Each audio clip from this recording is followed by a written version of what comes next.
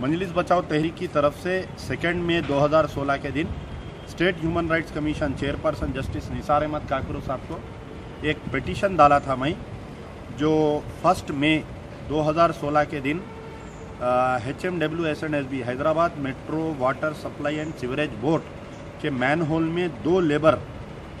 एक वीरा स्वामी 40 साल और कोथैया 38 ये दो लेबर्स का सीवर लाइन साफ़ करने के लिए जाके दोनों मर गए थे उसके अंदर। एक लेबर सीवर लाइन साफ़ करने के लिए मर गया, दूसरा जो लेबर है, पहले वाले लेबर को बचाने के लिए। हुकूमत की तरफ़ से अब तक कोई उनको कंपनसेशन नहीं दिया गया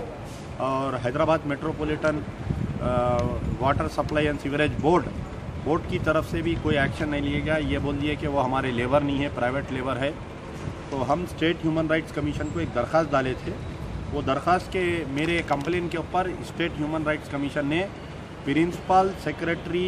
M N U D government of Telangana, principal secretary municipal administration urban development authority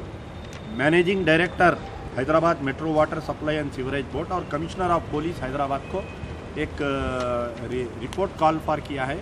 state human rights commission की तरफ़ से एक बेहतरीन इकदाम है कि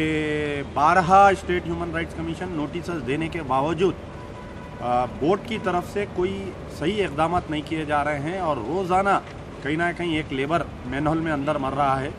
तो हमारा मुतालबा है कि मैनुअल स्कैवेंजिंग, ये जो इंसानों को अंदर मैनहोल में उतार कर नदी नालों में उतार कर जो सफ़ाई की जा रही है, जबकि दुनिया इतनी एडवांस हो गई है और हैदराबाद को नंबर वन प्लेस का करार दे रही लेकिन असल ग्राउंड रियलिटी ये है कि